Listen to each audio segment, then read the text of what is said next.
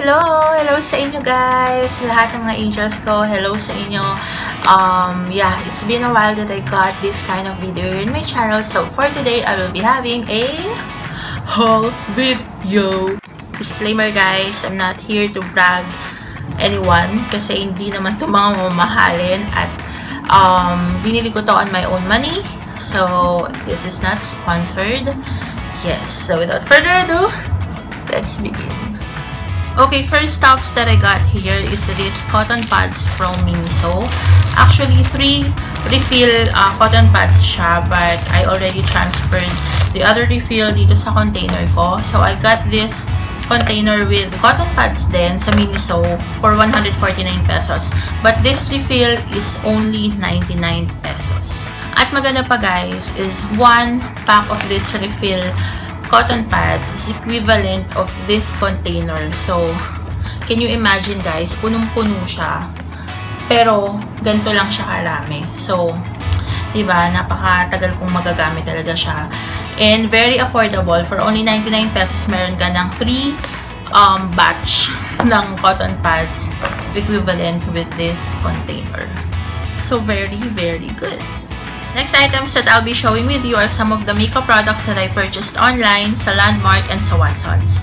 First off is this um, Real Techniques Beauty Sponge. So I've got this one online sa Star Main Shop. They have their um, Instagram account and also sa Shopee.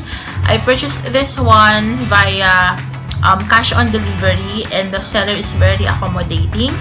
Um, I believe she is a sister of Miss Anakay. If you are wondering what are the products that they are selling, you can check their Instagram account and also their Shopee. I link the information down on description box. So please check that out.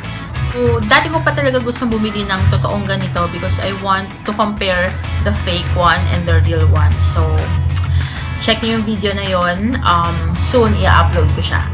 Actually, nagamit ko na siya guys. Nagamit ko na siya sa isang tutorial ko. Last video ko ata. So, yes. Ang ganda niya. And, nabasa ko na rin siya. So, once sa binasa, lumalaki talaga siya. At yun ang, sabi nila, yun daw ang um, parang sign na totoo yung product or totoo yung mga sponges na bibili natin. Next item is this Wet n Wild bronzer. So, I've got in the shade Bikini Contest. Actually, I've got this one on sale. It's 279 pesos. But the original price is 349. Great deal. Hindi ko pa talaga siya nagagamit as in. Pero unfortunately, nabasag ko siya, mga kaibigan.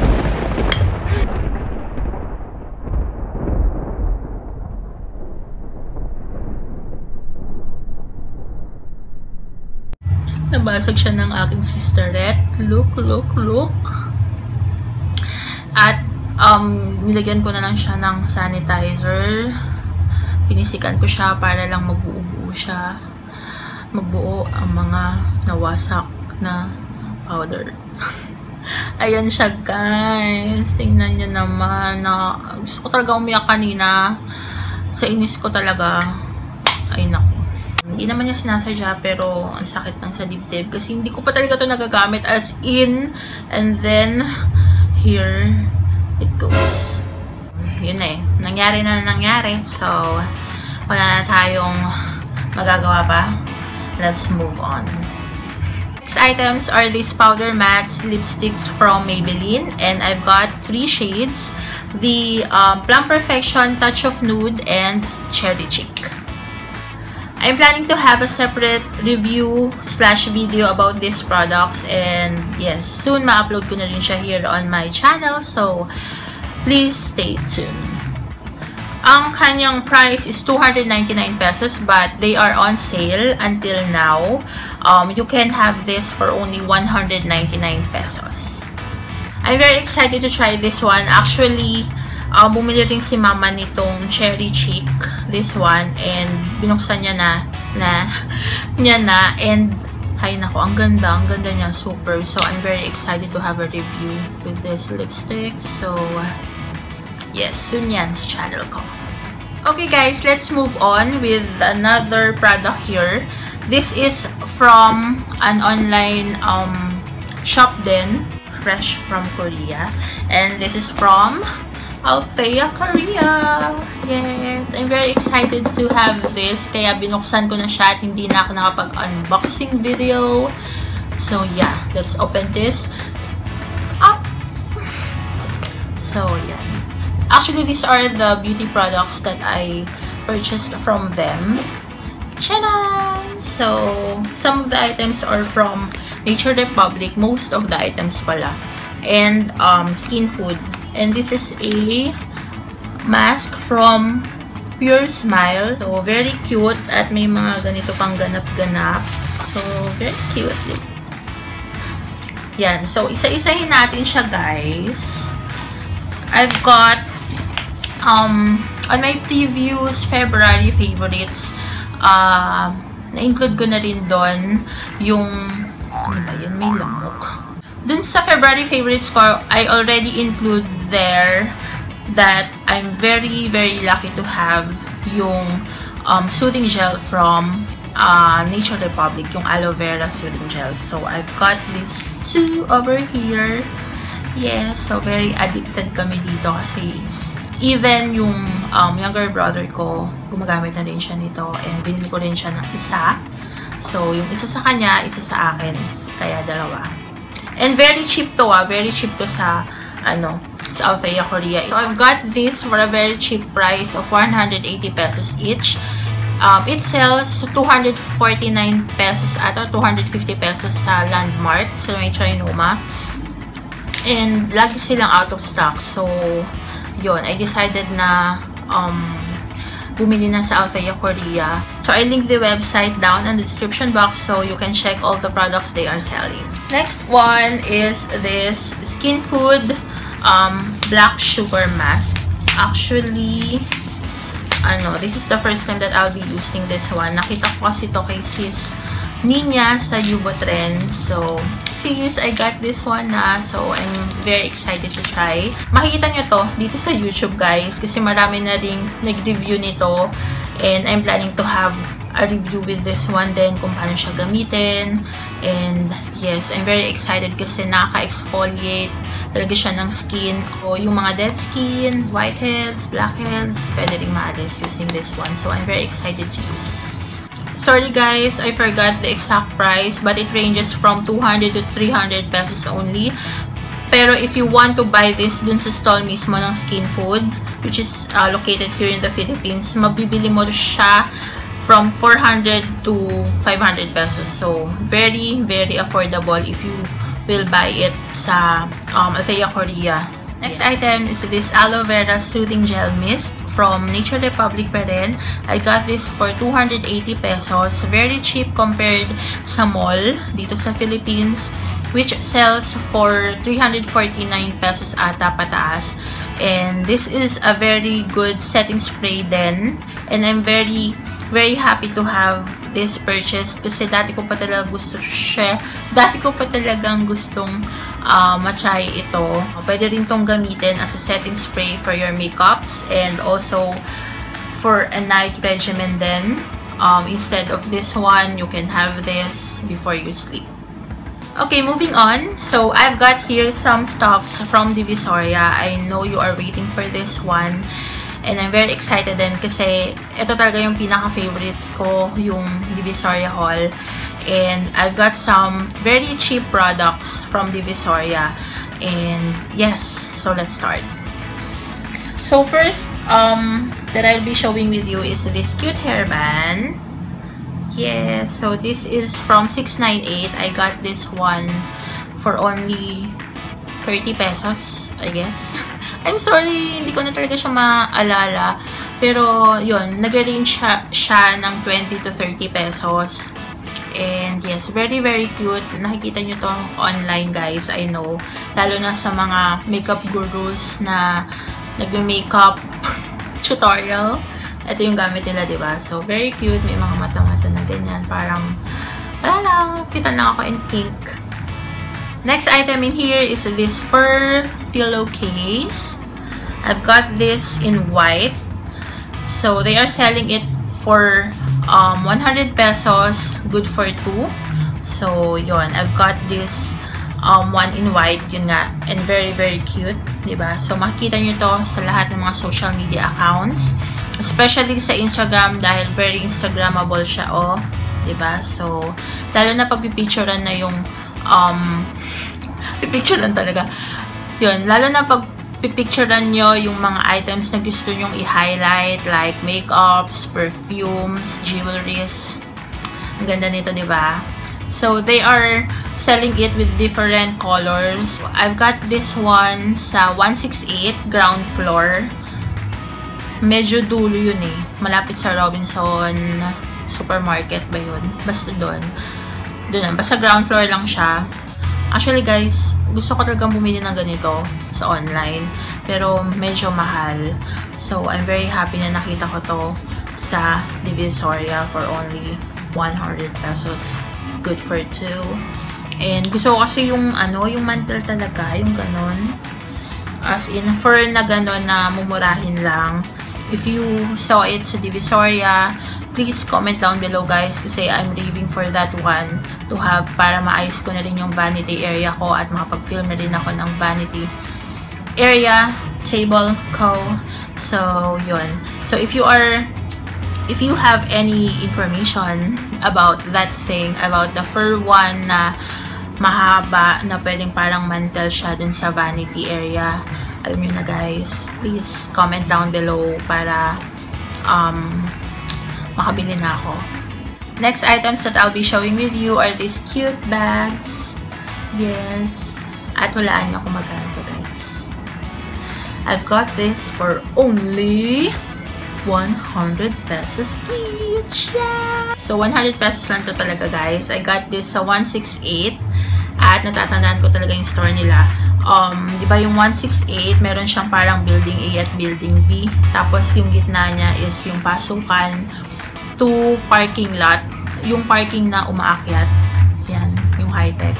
Yon So, dun mismo at the left side, pag um, pasok nyo dun sa parang um, passing by, passing by, ng mga, mga sakyan. Basta dun sa pasukan, dun sa, ano ba?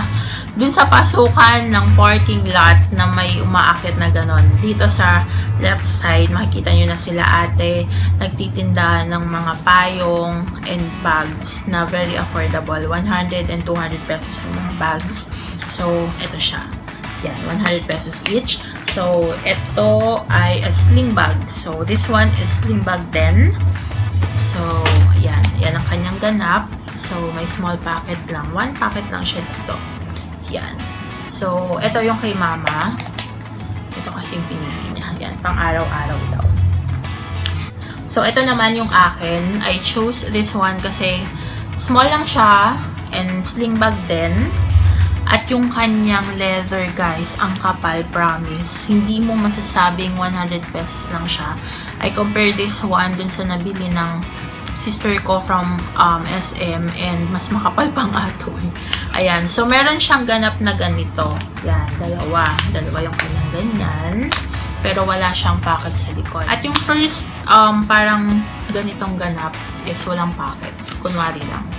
So, wala lang. Pampaganda lang. Pero, ang nagustuhan ko talaga sa kanya is yung loob. Although small siya, pero ang dami niyang pocket sa loob. See? See, guys? It has four card slots. A pocket here, and then meron din siyang spacing here, and then sa middle, meron siyang zipper one. So, pwede nyo lagay dyan yung mga important things na dadalhin nyo like cellphone and your bills. So, diba? Very, very good. For only 100 pesos, guys, meron ka ng ganitong bag. At pwede rin siyang maging clutch bag. Meron siyang extra um, strap like this. So, strap na lang siyang ganyan. Pwede na rin siyang maging clutch bag. For the last items that I'll be showing with you, these are the reasons why I go or I went to Divisoria. I'm very lucky to have this one kasi ang dami rin nag-review nito online. At nakikita ko na rin siya sa mga online shops and it cost a pricey one. It ranges from 400 to 600 up. And ang mahal-mahal niya guys for that uh, particular item. So, these are the stuffs that I got from 168 pa rin, sa ground floor pa rin. So, these are the brushes. So, I've got two brushes, the Kabuki brush set and the very famous na unicorn brushes. So, let me have this one first. So, I've got the 10 set of brushes And meron na rin ako nito, same color din, golden black. Pero I'm planning to have this uh, included sa aking giveaway, sa aking 1,000 giveaway. Yes, and yun. So, hintayin nyo yun guys. I've got this one for only 160 pesos. Yes. You heard it right. 160 pesos lang siya guys sa my ground floor. So, nah sa ground floor. so, 168. Actually, 180 pesos yung kanyang original price. Pero, bumili pa kasi ako ng isang brush set. Kaya, napa-mura ako or natawaran ko siya to 160 pesos. Very cheap, ba diba? So, it has 5 eye brushes and 5 for the face. Ang aking favorite in here is um, this one. Yung slanted. Kasi ang ganda niya pang, ano, pang crease sa eyes. So, ito yung gusto ko dyan. So, nandun kasi sa aking, ano eh, vanity area yung akin. So, I'm planning to include this one sa aking 1,000 giveaway. So, please, please help me to gain more subscribers. And, thank you, thank you very much for the support. Okay, I'm very excited to the next item and the last one, but not the least. So, I've got this unicorn brushes in 10. So, in set din siya. Um, 10 brushes siya. And, ganyan ko pa lang siya bubuksan, guys. Ah, very excited kasi ito talaga ay nabili ko for a very, very cheap price compared to those online sellers. I've got this one for only 300 pesos. Yeah! So, dapat katatawad pa ako pero mamaya makulitan na sa akin yung in-check kaya hindi na ako tumawad. Ang original price niya is 350 pesos. So, yun. Dapat tatawaran ko pa siya ng 250 pero next time na lang. So, these are the brushes. So, alam ko may 5 eyes brushes din, then 5 for the face. So, ayan na nga siya guys. Meron siyang 5 for the eyes. So, ito is for the eyeshadow. Ito, pang contour to. Ito for, pwede rin siya dito sa ating under eye. Yung pag-smudge ng mga, um, ng eyeliners or eyeshadow din. Then, here, pwede siya sa, um, pag-contour. Pwede rin. And, same with this one. Tapos, meron din for the face. So, meron tayong, um, ano ba to? Powder brush. Then, meron din sa pang-contour. At, syempre, pang-highlight. Hindi mawawala ang fun brush. Ang cute. Then, meron din pang, ano, pang foundation brush. And, this one, pwede rin pang foundation brush. At pang concealer. And also, pang blush. Pwede rin. So, yeah. So, I've got this 10 brushes for only 300 pesos. Diba? Ang cheap-cheap niya guys compared sa mga online sellers na binibenta to for 400 and up. Same with the other brush set. I'm planning to include this one also sa aking 1,000 giveaway. So, let me see. So, please help me to have that before the end of this month. And sana makapag 1,000 subscribers ako guys. Kasi there's a lot of surprises that that awaits you. Tama pa yun. Basta yun. There's a lot of surprises here on my channel. So, please stay tuned. So, tip lang guys, bumili tayo ng mga products na talaga magagamit natin. Hindi yung itatambak lang natin sa isang lugar. Kasi, sayang yung pera natin. Huwag tayo maging one time, big time mag-isip. Kasi, at maggasta ng pera. Kasi, syempre, um, hirap kitain ng pera at um, kailangan natin isipin na gagamitin ba natin to? Saan ba natin gagamitin yan? Kailangan natin isipin yun. Hindi yung bili lang tayo ng bili. I'm not speaking for myself because alam ko guilty ako pag ganun ang usapan. Dahil alam ko minsan one time, big time rin ako. Pero now, I'm controlled. Kinokontrol ko talaga yung sarili ko pagdating sa mga gastusin dahil hindi na tayo bumabata guys. We need to think positive and matured. So, I've got some tips then if you are going to Divisoria, just wear a comfortable clothes. Lalo na ngayon, summer guys, medyo mainit. Just wear a loose na talagang comfortable kayo. Wag yung medyo um, dark clothes kasi mainit yun sa katawan. So, wear a comfortable and nice clothes. At syempre, huwag kayong maging fancy looking. Yung tipong marami kayong kolorete sa katawan. Like, um, like quintas, hikaw, bracelet, watch, etc. Please don't. Please be simple and yung parang ano, walang perang look. Walang pera look. kung sakali lang, wag na kayo magdala ng mga cellphone. Lalo na yung iPhone niyo yung mga mamahaling cellphones. No, no, no. Even other gadgets, wag na. Kasi medyo siksikan doon, lalo na pag weekend. So, please stay simple. At syempre, bring your own eco bag, guys. So, mas convenient yon Isa lang yung bit-bit natin. Kasi, syempre, alam ko naman, Divisory yun. Maraming mabibili doon. So, marami kayong supot-supot. Gusto niyo ba yon? At baka mawala pa. So, you need to have one big bag para dun yun na ilalagay lahat ng mga pinamili niyo. So, that's it guys. Thank you very much for all your support.